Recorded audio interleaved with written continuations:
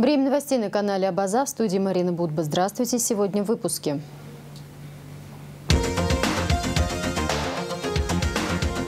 Подмога на 200 миллионов. Россия передала в дар Абхазии сельскохозяйственную технику. Итоги закрытия комиссии Народного собрания проинспектировала границу по реке Ингур.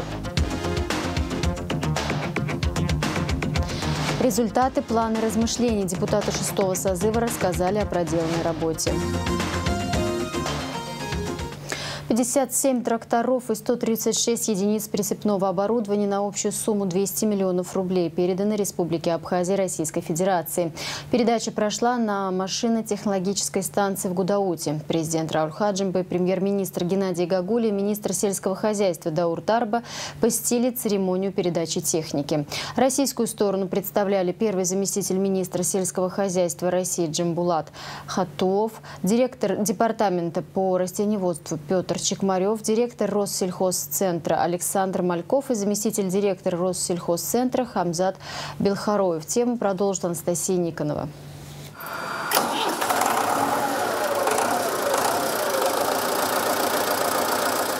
Тракторы, прицепы, трех-, четырех-, восьмикорпусные плуги, культиваторы, опрыскиватели и другая сельскохозяйственная техника передана Абхазии Российской Федерации. Современные машины оборудованы всем необходимым, в частности, системой кондиционирования. Теперь с появлением данной техники нашей стране доступны современные технологии обработки почв, применяемые в садоводстве и овощеводстве. Церемонию передачи техники в городе Гудаута посетил глава государства Рауль Хаджимба. Вот сегодняшнее событие – это еще раз подтверждение тому, что мы выбрали правильный путь. Путь на сотрудничество с Российской Федерацией. Все те базовые соглашения и затем следующие соглашения, договора, бумаги, которые каждый раз мы обговариваем, обсуждаем, реализуются. И вот сегодня есть возможность увидеть результат этой деятельности. Мы благодарны Российской Федерации, благодарны руководству за то, что они нас услышали и создали возможности для нашей республики, для того, чтобы вот такая техника была бы у нашего крестьянина. Сегодня у нас есть реальная возможность использовать эту технику по полной программе. Для того, чтобы мы не говорили, что нам того-то не хватает, чего-то у нас нет. У нас все будет. Главное, чтобы мы, засучив рукава, работали на свою страну. Министр сельского хозяйства Даур Тарба отметил, что передача техники состоялась по договоренности президента Рауля Хаджиба и президента Российской Федерации Владимира Путина. И на последней встрече руководителей двух государств у нас здесь, в нашей республике, в Пицундах, эм, Рауль Дюнгович поднял этот вопрос, и мне была предоставлена возможность тоже от имени тружеников сел обратиться к президенту Российской Федерации. И, уважаемые труженики села, хочу обратиться, ваш голос был услышан руководством Российской Федерации, и процесс, как говорится, пошел. После этого неоднократные встречи руководителей нашего государства с руководством, с руководством Российской Федерации. Перед абхазскими аграриями представлены лучшие достижения российских производителей сельхозтехники, отметил в своем выступлении первый заместитель министра сельского хозяйства Российской Федерации Джамбулат Хатуов. Мы хотим сказать, что сегодня любой успех в сельском хозяйстве в первую очередь связан с модернизацией. И мы рады тому, что усилия руководства Абхазии, решения руководства России – сошлись в том, что сегодня Абхазия получает очень хороший импульс в отношении современной сельскохозяйственной техники. За всем этим стоят современные технологии обработки почвы, которые применяются в овощеводстве, садоводстве. За всем этим стоит, естественно, финансовый результат. Мы хотим сказать, что абхазская продукция очень востребована на российском рынке, и мы уверены, что тот импульс, о котором только что сказал президент республики, он э, будет не только в доходах аграриев республики, но и в том числе в расширенном ассортименте овощей и фруктов Абхазии на российском рынке. Мы ее ждем. По словам министра сельского хозяйства Даура Тарба, техника будет распределена по всем районам Абхазии. Анастасия Никонова, Сосрухава Хава, Абаза ТВ. субботу, 21 июля, с однодневным рабочим визитом Республику Абхазия посетит глава Республики Адыгея Мурат Кумпилов. Состоится встреча глав государств, также встреча в расширенном составе. Рауль Хаджимба и Мурат Кумпилов примут участие в церемонии возложения цветов к памятникам миротворцам и неизвестному солдату по случаю столетия 7-й военной базы и посетят торжественное мероприятие в зале заседаний Дома Москвы. Позже главы государств отправятся в Гудауту на территорию 7-й военной базы, побывают на праздничном концерте по случаю столетия базы в Доме культуры города Гудаута. В воскресенье 22 июля на территории 7-й российской военной базы продолжатся мероприятия, посвященные празднованию столетнего юбилея воинской части. В программе торжественное построение личного состава базы, праздничный митинг, вручение наград, ценных подарков и грамот, плац-концерт в исполнении военного оркестра, показательное выступление по рукопашному бою, статический показ современного вооружения и военной техники. В экспозиции будут, будет представлено до 50 современных образцов образцов стрелкового оружия и боевой техники, среди которых новейшие танки Т-72БЗ, бронетранспортеры БТР-82М, реактивные системы залпового огня «Град», противотанковые ракетные комплексы «Штурм-С» и зенитные ракетные комплексы «Оса». В ходе совещания с послами и постоянным представителем Российской Федерации президент России Владимир Путин призвал политиков, которые стремятся включить Украину или Грузию в состав НАТО, подумать о последствиях этих решений. Глава государства отметил, что основа безопасности в Европе заключается в развитии сотрудничества и доверия. По его словам, развертывание альянсом новых военных баз у российских границ не способствует восстановлению доверительных отношений. Ключ к обеспечению безопасности и стабильности в Европе именно в том, чтобы расширять сотрудничество и восстанавливать доверие, а не в развертывании у российских границ новых баз и военной инфраструктуры НАТО, что сейчас и происходит. На подобные агрессивные шаги, которые представляют прямую угрозу России, будем реагировать соразмерно. Нашим коллегам, которые играют на обострение, стремятся включить, в том числе, скажем, Украину или Грузию в военную орбиту Альянса, следовало подумать о возможных последствиях такой безответственной политики. Нужна другая, позитивная повестка, нацеленная на совместную работу, на поиск точек соприкосновения.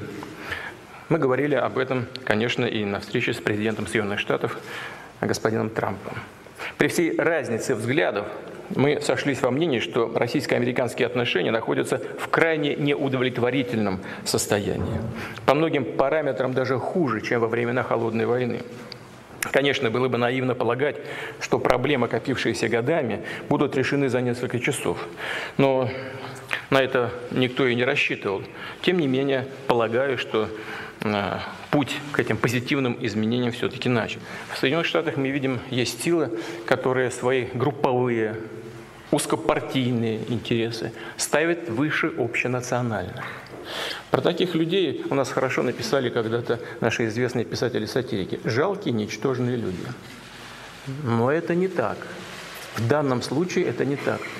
Это люди и не жалкие, и не ничтожные, а наоборот, довольно могущественные, сильные, если могут впаривать там, извините за мавитон, своим гражданам, миллионам своих граждан различные э, трудно перевариваемые, перевариваемые в нормальной логике истории. Депутатская комиссия Народного собрания ознакомилась с состоянием пограничной зоны Галского района. Наши корреспонденты вместе с депутатами и представителями таможенного комитета побывали на местах закрытых пунктов пропуска, а также на КПП «Ингур». Съемочная группа совместно с депутатами выясняла, насколько изменилась ситуация с закрытием дополнительных пунктов пропуска, а также узнали мнение местных жителей. Подробный репортаж смотрите в наших ближайших выпусках. Без малого полтора года работает шестой созыв Народного собрания страны. Очередные депутатские каникулы были перенесены, однако начнутся уже на следующей неделе. В преддверии окончания весенней сессии съемочная группа телеканала «Абаза ТВ» пообщалась с народными избранниками. Что ждет пенсионеров? Какие артефакты нужно возвращать на родину? С кем у парламента не сложились отношения? Почему до сих пор не ведутся прямые трансляции сессии? Ответы на эти и многие другие вопросы в специальном специальном репортаже Элеонора Гилоян. Шестой созыв Абхазского парламента был избран 12 марта прошлого года и уже через месяц приступил к своим обязанностям. За более чем год в Народном собрании было принято около 40 законов и поправок к ним. Сейчас близится к концу очередная весенняя сессия. В преддверии депутатских каникул в интервью с нами депутаты подводят итоги, делятся своими планами и даже рассказывают о собственных неудачах. Состав шестого созыва разительно отличается от пятого, то есть многие депутаты не смогли задержаться на второй срок или вовсе не баллотировались. Для Левона Галустяна шестой созыв уже второй в качестве депутата, а теперь и более того вице-спикера. Э, могу сказать о том, что я хотел бы остановиться непосредственно на международной деятельности э, Народного собрания, именно в контексте э, принятия, как мне кажется, очень важных законопроектов, касающихся ратификации тех или иных соглашений. Вы знаете, что именно шестой созыв ратифицировал межгосударственное соглашение с Российской Федерацией об обязательном медицинском страховании граждан Российской Федерации, постоянно проживающих на территории Республики Абхазия. И, к счастью, тот вопрос, который долгое время ставился, вот, э, наконец-то разрешен, и сейчас э, граждане нашей страны имеют возможность оформить медицинские полисы непосредственно в, по месту своего жительства. Э, второй законопроект о ратификации тоже касается медицинской сферы. Это соглашение о льготном обеспечении медикаментами льготной категории наших граждан. И этот законопроект тоже был ратифицирован депутатами шестого созыва. Я хотел бы сказать о том, что нашим депутатом Алхасом Владимировичем Джинджоля инициировано э, обсуждение э, вопросов, связанных с ужесточением э, норм Уголовного кодекса, что касается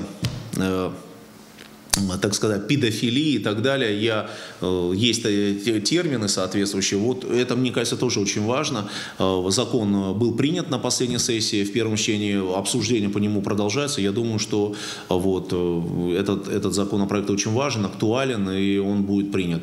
Илья Гуня в парламенте новичок и смотрит на прошедшие почти полтора года немного иначе.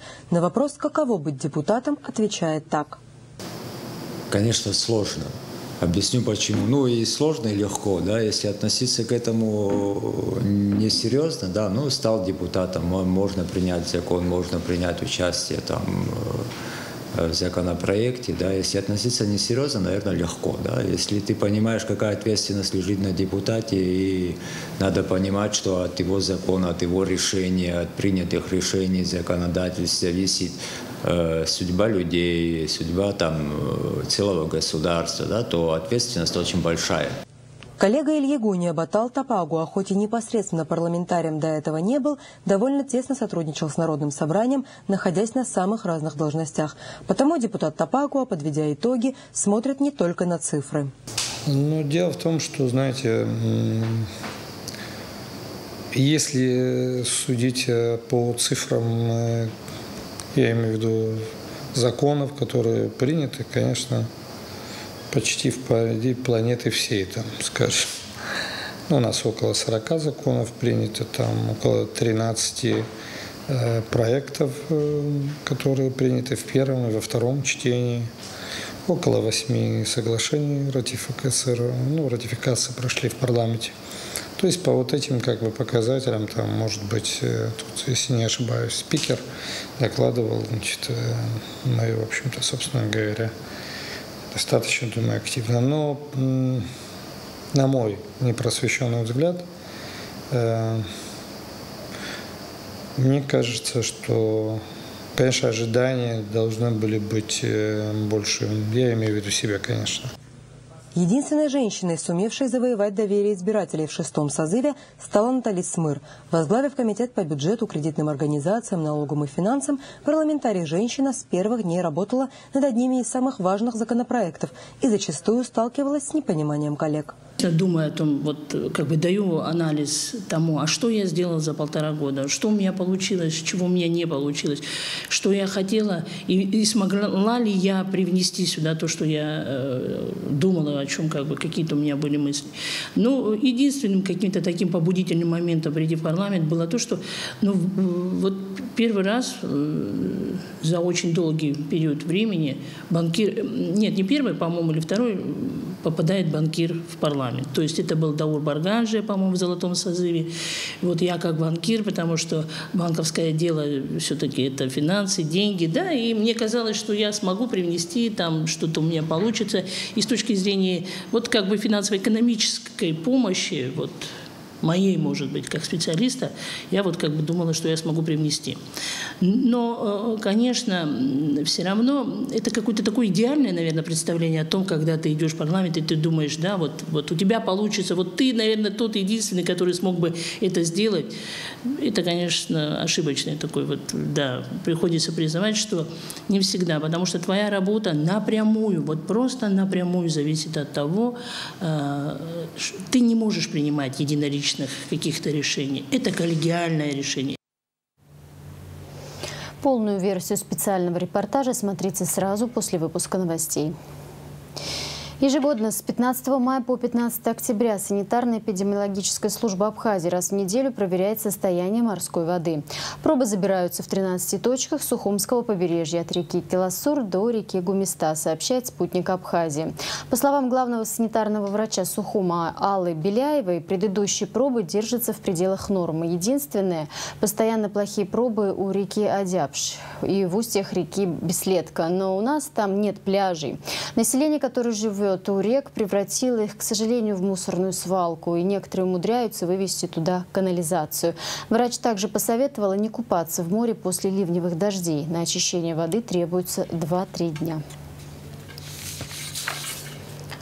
Игры народа Абаза с участием сборных команд из Абхазии, Карачаева-Черкесии, Кабардино-Балкарии, Москвы, Ставрополя, Иордании, Турции стартуют 21 июля в Абазинском ауле Инжич-Чукун в Карачаево-Черкесской республике. В этом году игры пройдут под эгидой Всемирного Абхазо-Абазинского конгресса, Ассоциации содействия развитию абазино-абхазского этноса Алашара и Ассоциации абазинских общественных объединений «Абсадгел». Команды будут соревноваться в различных видах спорта, таких как футбол, волейбол, забег, стрельба из пневматической винтовки, прыжки в длину, стрельба из лука и перетягивание каната. В этом году организаторы соревнований приняли решение учредить Кубок по футболу в честь предстоящего 80-летнего юбилея одного из основателей Конгресса, президента Международной ассоциации абхазо-абазинского народа Тараса Шамба, известного ученого, доктора юридических наук, профессора. Абхазский боксер Батал Чеже выиграл бой у спортсмена из Грузии Рубена Мавсисяна на вечере профессионального бокса, который состоялся в боксерском клубе Николая Валуева в Москве. Во втором раунде он одержал победу техническим нокаутом, сообщает Госкомспорта Абхазии. Батал Чеже – чемпион СНГ и славянских стран по версии журнала про бокс. Юные каратисты из спортивного клуба «Скорпион» при поддержке Федерации карате Фудакан Абхазии провели неделю на выездных сборах в горах.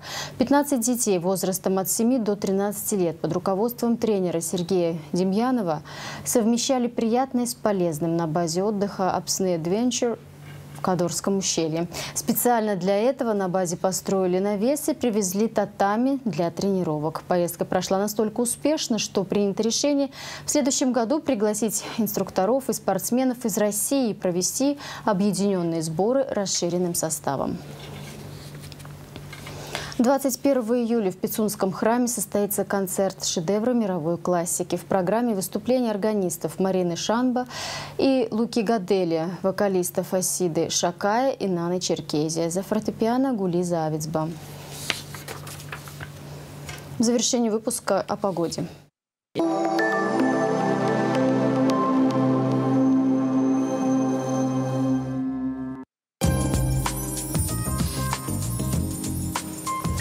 В выходные дни в Абхазии ожидается преимущественно солнечная погода. Температура воздуха ночью плюс 21, днем плюс 27. Температура морской воды плюс 26.